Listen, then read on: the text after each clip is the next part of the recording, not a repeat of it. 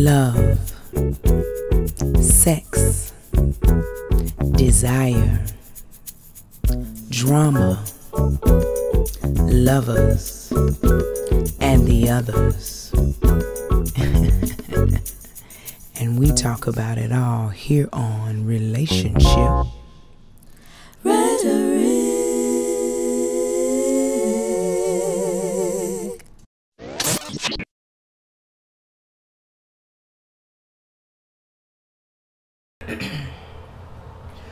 Greetings and welcome to Relationship Rhetoric. I'm unapologetically Angela, your host, and with us today we have Kat and Shay, another amazing couple here with us. So we're going to take some time to get to know them a little better. Welcome to the show. Thank you for having us.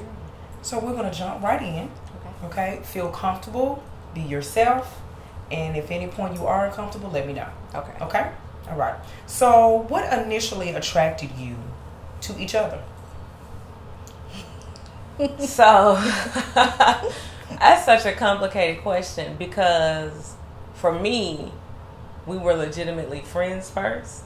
So what attracted me to her as a friend was just that she seemed um, open at the time. She was starting a spiritual journey and uh, talking about cleansing herself and getting this new energy. And she seemed really, really passionate about it.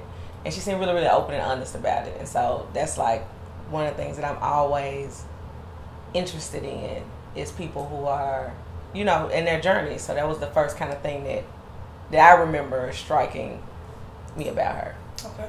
Okay.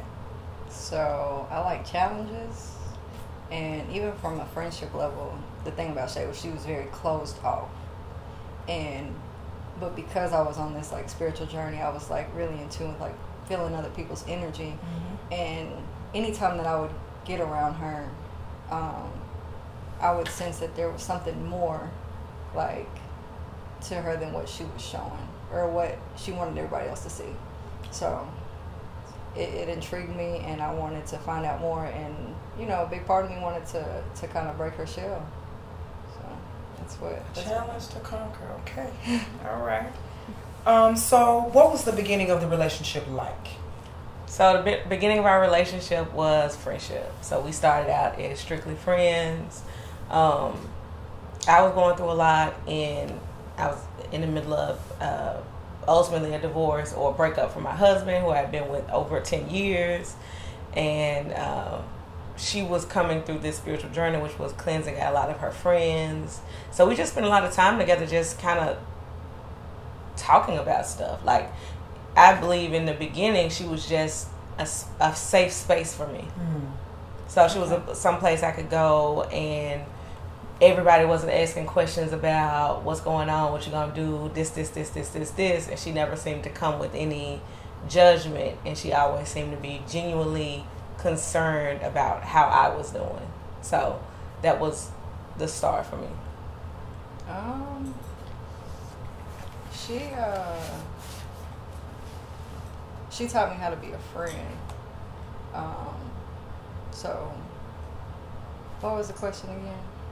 What was the beginning of the relationship Oh. like? That's what it was. Okay, because I, I was in my head trying to answer the question while she was talking, but um, but the beginning of our relationship was because I was going through my spiritual journey, because I was cleansing friendships.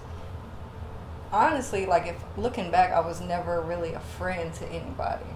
Um, like they were always friends to me. Like I was, they would always confide in me. Um, and my my relationships with people, friendship or romantic, were, was very surface level. Um, until Shay and I like got closer, and when she started coming over and, and confiding in me, like I remember like specifically making a conscious decision to be a better friend, and that was pretty much like the beginning of my relationship with her. Was like being a better person and specifically being a better friend. Period. So. Okay. So you started as friends. You had opportunities to confide, confide in each other and share things. So what happened? So that's a weird thing. I know what happened. Okay. So before what happened? So before it was officially like, okay, you crossed this line. Um, I don't. It was so It was cross that line though? Because I'm looking at New Year's Eve as cross that line. Like, th- that's what I'm looking at is being the beginning of us. I don't. I think that was the first time that we that there was a weird feeling other than friendship, kind of like what is kind of what is that? Mhm. But I don't. I don't consider it the beginning of us. But um, so there was like so there were all of these. So we so there was a time when there was the first time in our friendship where it was like, uh, it's something else there. Are we gonna deal with it, or we gonna Mhm. act like we don't see it? And we talked about it, and then pushed it under the rug. You think it was earlier? No, it wasn't earlier. Psh, it was New Year's. So anyway, um it was always just so as we got closer it was just I can't I don't know. It was just so where before we would be sitting on the couch like this talking. So yeah, so it was like when we first would come over. I wouldn't even be on the couch. She would be in a chair. I would be in a chair. Like, yeah, we would be very. But we'd be very Separate. open with each other. And so it was like one day we looked up, and I believe that was our friend's birthday, the first time we, our friends called us and was like, so, bitch, what's up? like, I was like, what you mean? She was like, okay, so y'all was leaned up on the couch. Like, we'd be leaned up on the couch, and they were in a relationship. And so I was like, what are you talking about? We was just chilling. And she was like, but it was how y'all was chilling. Mhm. And so we was like, nah, we was just comfortable And with this each birthday other. party was after New Year's. Yes, it was after New Year's. After New Year's. It was two months after New That's way Year's. before. Okay. So you, can I tell what happened? You was tell yourself. say, Kat, Well, tell can I tell what New happened New Year's? It wasn't New Year's the day before. Tomorrow when we got into the argument, I came over there. Yeah. Okay, that was the day before New Year's. Okay. Can I say that? You can. Okay, so this is what happened. Let me tell you this. Okay, so I told you, let's rewind. One, I told you that I made the conscious decision about being a good friend, blah blah Right. blah, right? So, so the thing about Shay is that she can tell you something like she means what she says. Me, I'm used to dealing with people who don't mean what they say. So if they say, uh, "I want you to come with me somewhere," and I say I, I can't make it, they'll be like, "Oh, it's cool, right?" Mhm. I take it as that. It's cool, right? So with her, like because she says what she means, I wasn't used to that. So there was a time like she asked me to go several places, and I'd be like, I'll make up some excuse like ah, I'm not going, because to me it didn't like I wasn't feeling it or like I didn't know that it meant that much to her, right? Because had I known that it meant that much to her, I would have went. But so apparently it got too much for her, and then she broke up with me as a friend like she called me and we were talking she was like basically like you know i see that this friendship ain't working i'm just going to treat you accordingly blah blah blah we get into this whole big argument and she she actually messed with me the other day about like I, I forgot what she said but i was like i was emotional because i was like i was really trying to be her friend now she's breaking up with me i was like well what else do you want me to do Shahidah? no, no, no, no, no. It was the tone. Ah. So here's the thing. So we arguing back and forth, and I was like, "So here's my issue. I've asked you to go surface." So Kat is one of those surface level nice people, and so what that means is that she's always like, "Oh girl, oh I'm so sorry, bro." Light and energy and all this, and right then in the moment. But an hour later, she'd be like, "Oh girl, I'm kind of not feeling it." You know, you know what I'm saying. So, so my thing is like, so it was my my what came happened was my brother was in town. So my youngest brother who's in the army, and like she said, I'm very very closed out. So I don't extend the invitations into who I am and the people that are close to me to people unless they're close to me. So it's not like I'd be like, yeah, we finna turn up with my brother, all of us come out. No, there are people who have been in my life for years who don't haven't met my family or my brother. You know what I'm saying? So I extended her the invite. We chose the, uh, a location close to her. She was initially like she was gonna come. Then the last minute was like, yeah, no. So this had been like the fifth time that this happened, and I was like, I'm very much a person that. So if I tell you I'm gonna come, whether it's to your party, whether it's to you know whatever, if I say I'm going to do it, I'm going to do it. Very rarely am I not, and if I don't, I legitimately made the attempt. I'm just I spend too much of my time on the other side of this. So like I said, I earn these morals. Right. That I earn these morals, but I take, you know, so I value my word and I value the word of other people. So Kat is a, I call her a loose committer. You know what I'm saying? It's mm. like, oh yeah, girl, I'll be there. Yeah, I'll do that for you. And then a month later, when she's no longer feeling it, but that's it's time for the commitment, she backs out. Mm. So we were uh, arguing about that, and what happens when she gets directly confronted is she shuts down. So she becomes also very passive aggressive, and she was like, "Well, I told you I'm sorry. So what else do you want me to do, Shahidah?" Mm. That's the way she said. I will never mm. because it made me so mad. Like now, now as a friend, I understand why it made me mad, but mm. it made me so mad. Like it was like I was I drove over there. Like so I so I had to question all that later on. Like what made me why why am I disinvested? You know what I'm? Mm-hmm. So like I said, that was the first time it was kind of. But when we got there, we talked, and one of the things that I told her was that you know, as open as I am with you, I don't know anything about. I didn't know anything about her. So you, I'm telling you, and I'm pouring out my heart to you about the situations I'm going through, and the things that I'm dealing with. But I didn't know her dad's name, or that she mm. had a brother, or none of this stuff. So she was very much so not reciprocal, and so that night we stayed up. One was the first night we ever like physically touched, and not even like in a sexual sense, just like meaning touch like this. Right. Because most of the time, I'm also not a toucher, so that's a big thing for me. Like it doesn't make sense when I say it, but it's like when people touch me, like I take whatever they have going on. So I don't like for people that I haven't like approved of their energy to touch me. So I've gotten better because she's a hugger, Mm-hmm. and normally because she's a hugger, people hug her, they're gonna hug me, and so it was getting real weird. People be like. Your, your girlfriend don't like me because she be like so I've gotten better but so that was like the first time that we were even like she was in my personal space in any way. So that was like I feel like that was a breakthrough for our friendship. And it was weird because for her I think we were moving in different spaces. So that was a big breakthrough for us in our friendship, and I regarded it as that because that was the first time I got to know who she was as a person. But I don't necessarily feel like it was a breakthrough in us as a relationship. Mm-hmm. And I guess like we look at it different because mm, the the feeling was different. Like it was more intimate. It wasn't, Yeah. and it wasn't a friendship intimate though. For you, For you, well, for me, yes, Yes. for me. So Did you ever find out what made you drive over there? Did you ever get any clarity? no. Because I'm not driving over no friend's house. saying. But but so that's the other thing. So she also says that she also says that too. But my friendships are very intimate. Okay. My But- circle is very not- very. My circle is in bed. You not, you're not, ah, you're not doing that. What happened? so. This is what I did. Okay. You know what I'm saying? So we're talking. close. So, but so it was, I rubbed her hair. I hair. hope you Okay. ain't doing that to none of your other friends. Well, no, I have black friends. And Okay. I, I can't mess with they. I can't mess with their ways.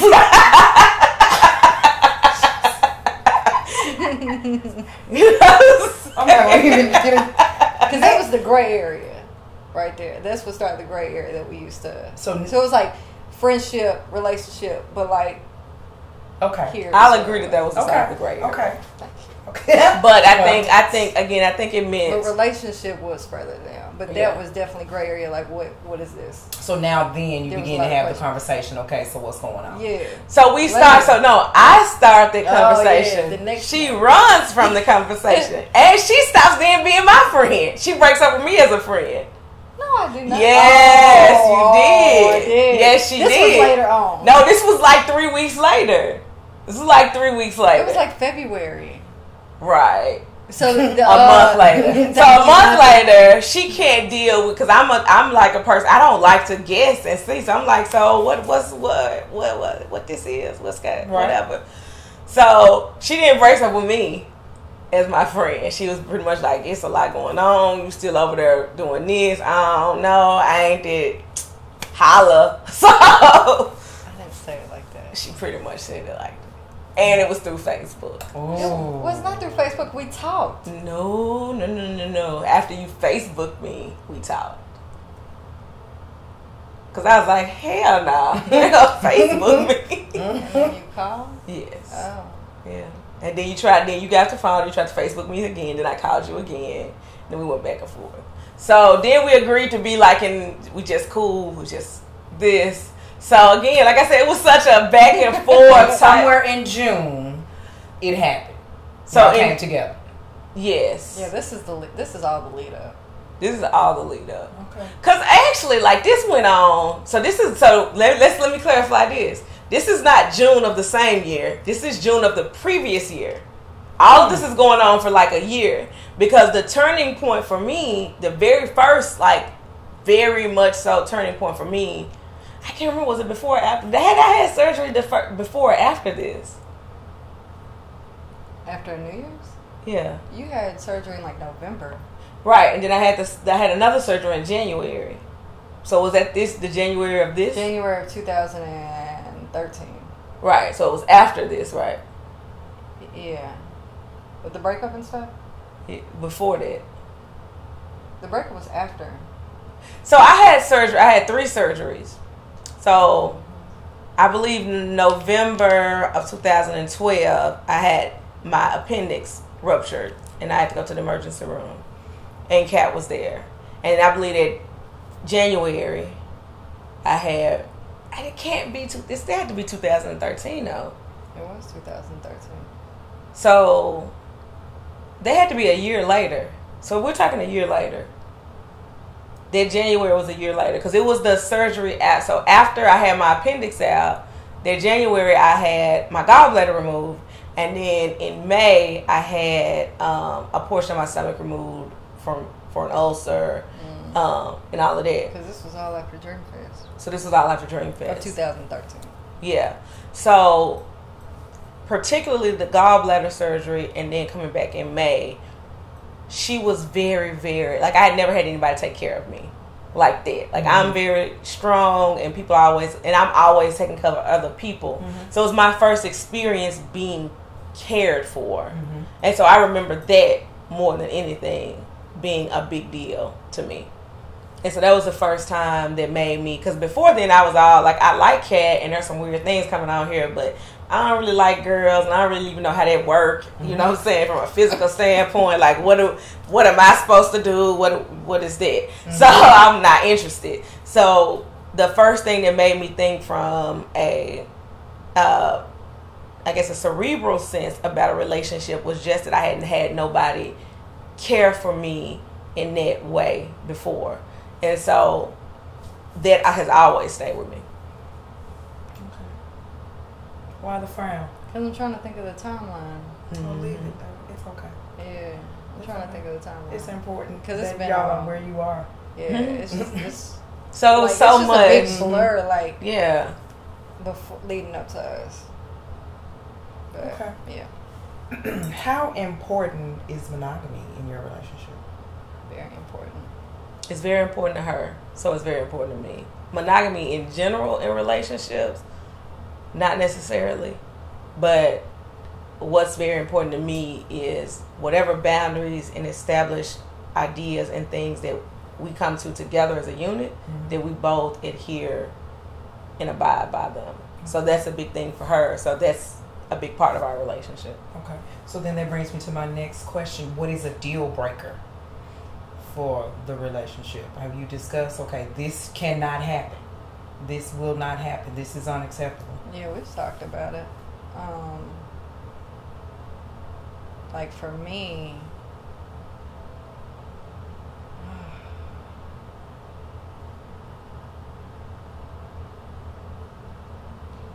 would be mine would be similar to hers, like the breaking of the trust. You know, because that that's a big like component of our relationship because especially with what her and I do, like being in the entertainment industry and like, you know, we talking to multiple people, we're going out. Sometimes we got to go out with, without one another. There's like a big comfort of knowing that I don't ever have to worry about like her doing something else with somebody, you know, mm-hmm. or creating a relationship, like an inappropriate relationship with somebody. So I think like in any sense, like that trust is broken, that's, that's definitely a deal breaker because I wouldn't, you know, I don't want to be in a relationship where I'm like worrying about what's going on. You know. Absolutely. And that's the thing to me is just that I'm the type of person that we can be upfront and work through anything. So anything that breaks the trust is a deal breaker for me because that's the biggest comfort of being in this relationship. That's the biggest comfort for me of all relationships, whether friendship, business, whatever, is my ability to trust that you do what you say you're going to do. And so again, it goes back to the whole, you know, commitment thing, even the little things, like those things mean a lot to me, which is why I try to make sure that I don't commit loosely. I don't say things that I don't mean because I want to be able to hold you accountable to that same standard. So for me, I want to be able to trust that she's going to do exactly what she said she's going to do. Very nice. Very nice. What was your most memorable date? You wanna go first? You know. You thinking? Man, mine is when we went to Nashville. Okay. What happened? Where'd you go? Um, everywhere. just- She just showed me like it was just being with her like for a few days, and it's just being us and us just going out to eat and us just having a good time and it was just the first time like I was able to like get away with her. Mm-hmm. So that always stick in the, the back of my mind. Um, memorable.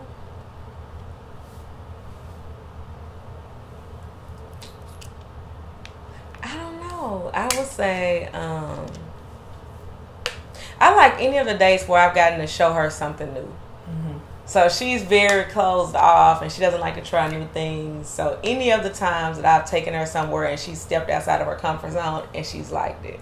So there's been like different restaurants, there've been like different types of events, just like doing different stuff that she that I get to intro, introduce her to some of the things that I like that she now likes. So any of those. Okay. Nice. What do you like most about Shay? Man, probably the stuff that gets on my nerves. uh, and I mean that with as much love as possible. But um, God, she's so loyal. Like she's, and she means what she says, and like she's not gonna sugarcoat anything. Um, that you know she she has strong relationships. You know, so that's I you know I love the fact that she's intelligent and she's God, and it gets on my nerves so bad but I love it because I need it Mhm. like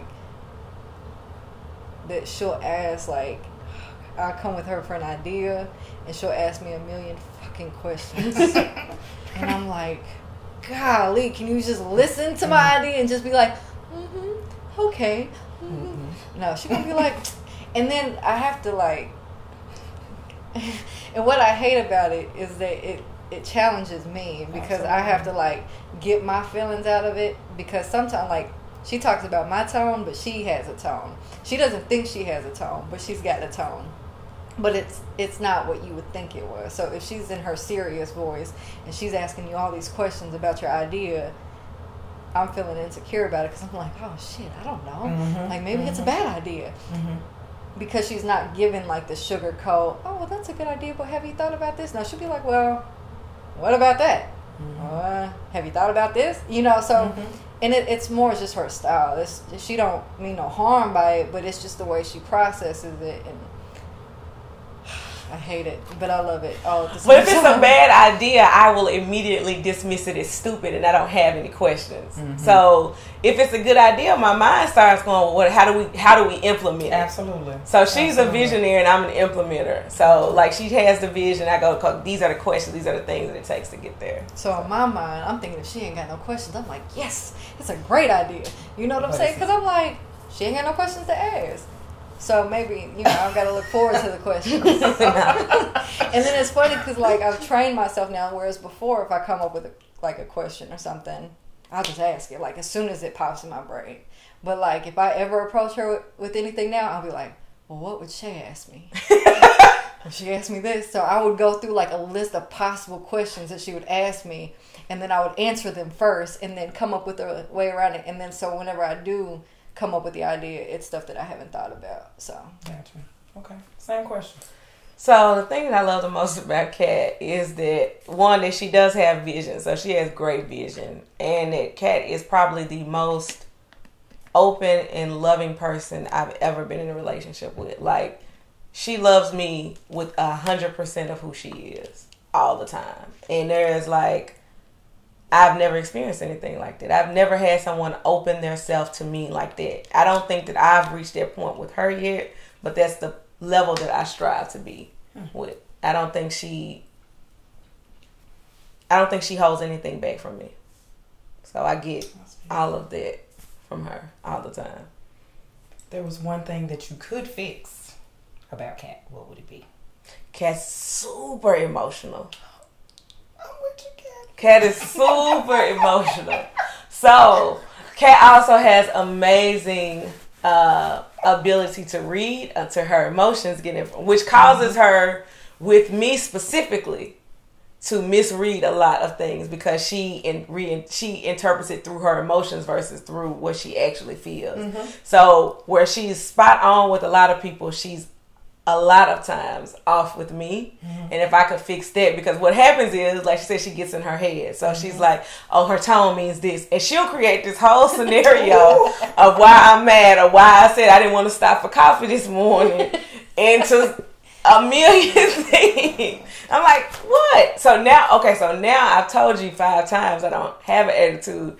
I was just tired and it's early in the morning and I didn't want to stop or talk about nothing. It wasn't specific to you, but she's like, no, because blah, blah, blah, blah, blah. So now, yes, I do have attitude because I told you, you still feel like it. So now, attitude here. Gotcha. So Gotcha. that, that was the one thing that would be it.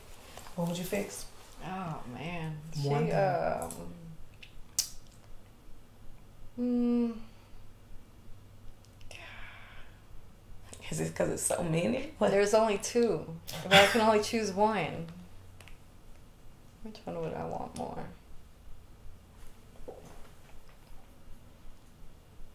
Oh, okay.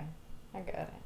So, for her not go, like, to withdraw. Like, because when she's, like, stressed or, like, she's mad or something about, like, she goes into herself and, like, She calls me a she, turtle. She shuts the world out. Hmm. And because I could feel, like, regardless of whether or not it's directed to me, I feel it. Right. And so I'm like, Right. at least let me be the one to, let me be Right. the only one to be able to come in. right. But I'm shut out with everybody else. That, I would shut the turtle. Mm-hmm. Okay. Center on that. Yeah. Okay. What advice would you give couples desiring a healthy same-sex relationship? I mean, I think it would be the same for any relationship. My advice is to have the hard conversations. Mm. I think that what I noticed both in our relationship and from being married to somebody who we're now friends with, we talked through kind of what happened. Mm-hmm. I think we have, like you said earlier, the picket fence idea of what marriage is. So we think that if there are any problems, then we're a problem. So you avoid the conversations. You avoid the things that you feel that you don't say, and you basically sweep them under a rug until you trip over it, and there's no way to deny it. And mm-hmm. now you don't know how you got there. You know what I'm saying? And you don't know the person across from you because the, as y'all have grown and decided we're not going to address this, you've grown through that. They've grown through that, and they you've grown at different rates, or you know things have impacted you differently, and you've never talked about it. You know, I know that uh, during one times in my marriage, I we my family was going through so much death, and it was just so much. Like I lost in it basically in a span of like three years, ten people, ten really close people, not like the old uncle or the old, you know what I'm saying, but like my cousins that were that I grew up with, like sisters and brothers, and then their moms, and their you know, and from both sides, and some of them tragically, some of them very sensationally, um, and like she said, I, I have a, a, a you know, I have a shell, but sometimes it does take cattle ask, "Are you okay?" or or force the conversation about, "I know you're not okay," and I think that you know you have to do that for the things that are going on, but also when you're sitting in those silences in your relationship, and I think it's important for you to be able to sit in silence with each other. You shouldn't have to feel the space, but you know when that space is heavy. And a lot of times we don't address that. We don't ask, why does this feel like this? We Absolutely. pretend it's okay. And you got to have that conversation. You got to say, well, what are you feeling? Or what are the things that don't make you happy? Mm-hmm. I need to understand what the it, what what that one thing is for her, just like she has to understand what that one thing is for me, because that's the thing I'm striving to get past, not the thing she should be shoving under the rug. Mm. And I, I just, I would just say, have those conversations. Um,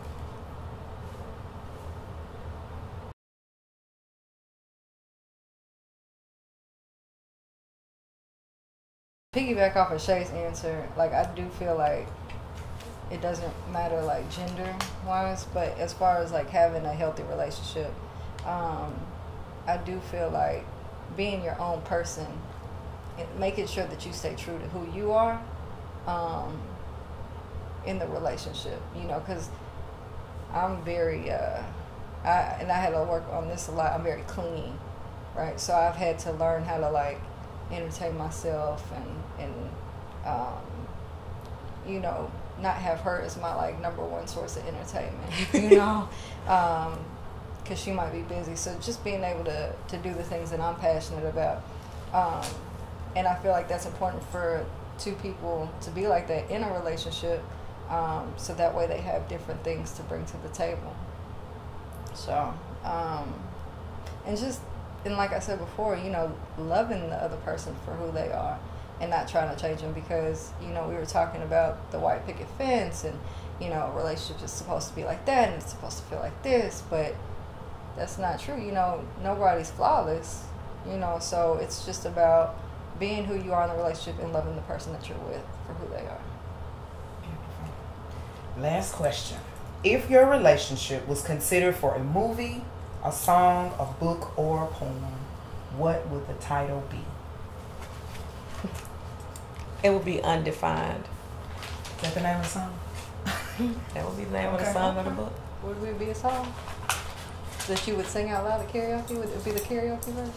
I would sing it out loud. I would sing it out loud. I'll go with that one. I'll go with that one. Undefined. Okay, ladies and gentlemen, there you have it. We have Kat and Shay on relationship rhetoric. And at the end of each show, I try to leave you with a notion of love to take with you. And your notion this week is once somebody reveals to you who they are, believe them. This has been Relationship Rhetoric. I'm your host, unapologetically Angela. Peace, love, and enlightenment. and the others. Love, sex, desire, drama, lovers, and the others. and we talk about it all here on Relationship Rhetoric.